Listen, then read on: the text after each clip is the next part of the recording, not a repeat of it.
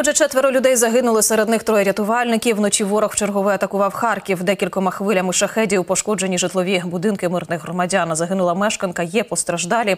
На місці прильотів виникли пожежі. У рятувальників, що примчали за викликом на одну із адрес, влетів безпілотник повторного удару. Двоє співробітників ДСНС загинули на місці. Ще один помер дорогою в лікарню. Удар ворога травмував ще одного рятувальника і пошкодив три одиниці техніки. Ліквідація наслідків на тепер триває. По місту Харкову е, ворог випустив близько шести БПЛА. Одне з БПЛА влучило трьохповерховий житловий будинок, інше БПЛА влучило в 16-поверховий житловий будинок. Е, Інші шахеди влучили по приватному сектору. Внаслідок цього ворожого обстрілу 9 цивільних осіб отримали різного ступеню тяжкості тілесне ушкодження. Одна жінка, на жаль, загинула. Крім того, Внаслідок цього ворожого обстрілу загинуло троє працівників ДСНС. Один працівник, ДСНС е, отримав поранення. Крім того, поранення отримав один працівник поліції. Жінки проти ТЦК. Напад на автомобіль військових під Хмельницьком розслідуватиме поліція. Винуватицям загрожують виправні роботи або двотижневий адмінарешт за дрібне хуліганство. Сповістила про служба тамтешнього військкомату. Там також наголосили, що службовці ТЦК є частиною збройних сил. Відтак будь-які протиправні дії щодо них нестимуть за собою покарання. Відео конфлікту жінок із військовими на Хмельниччині поширили в мережі чотири дні тому.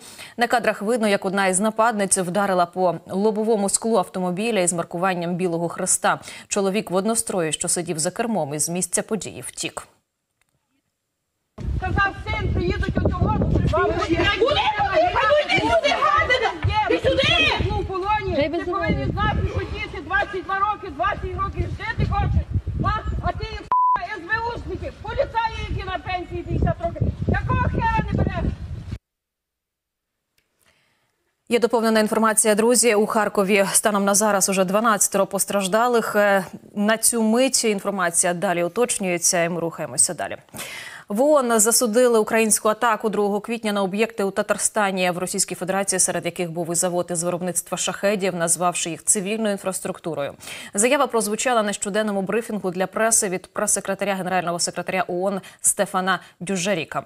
Ми виступаємо проти і закликаємо припинити всі атаки на цивільну інфраструктуру, сказав речник. Під час ударів по Єлабузі та Нижньокамську не використовували зброю іноземного виробництва. Про це заявив представник головного управління розвідки Андрій Юсов. Він не уточнив, чим саме могли бути уражені об'єкти на території РФ за 1200 кілометрів від України, але зауважив, що українська галузь БПЛА розвивається дуже динамічно. Нагадаю, напередодні дрони поцілили в НПЗ та НЕКО та цех із виробництва Єраний. Ми офіційно не будемо ані підтверджувати, ані спростовувати традиційно. А, Але бачимо, що гуркіт і бавовна на території держави-агресора е, продовжуються, продовжуються саме на військових об'єктах, які безпосередньо задіяні е, в геноцидній війні Росії проти України. Так мова йде зокрема про підприємство зі складання е, шахідів і або так званих гіраній. Е, Ми розуміємо, що мова йде саме про ось таку модифікацію. І власне цілі були уражені. Цікавим моментом є те, що частина руйнувань інших сусідніх об'єктів була наслідком дії російської так званої протиповітряної оборони протиракетної. Це не вперше. Е, Намагаючись е, збивати якісь інші цілі, вони самі собі, як правило, найбільше і шкодять. Ну, можемо констатувати, що е, в цих подіях зброя і засоби іноземного виробництва наших партнерів, зокрема, не використовується. Це факт. А те, що е, українська галузь виробництва безпілотних літальних апаратів е, розвивається і розвивається дуже динамічно, ну це факт. Цього не варто приховувати.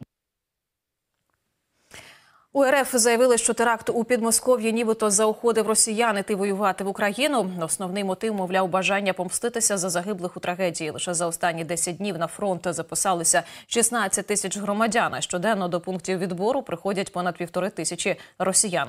Принаймні так стверджують у Міноборони РФ. Нагадаю, що найменше 144 людини загинули внаслідок масової стрілянини та пожежі на концертному майданчику Крокус Сіті Холл під час нападу, відповідальність за який взяла на себе очолює бойове угрупування Ісламська держава. Однак Росія заявила, що терористи нібито якось е, пов'язані з Україною.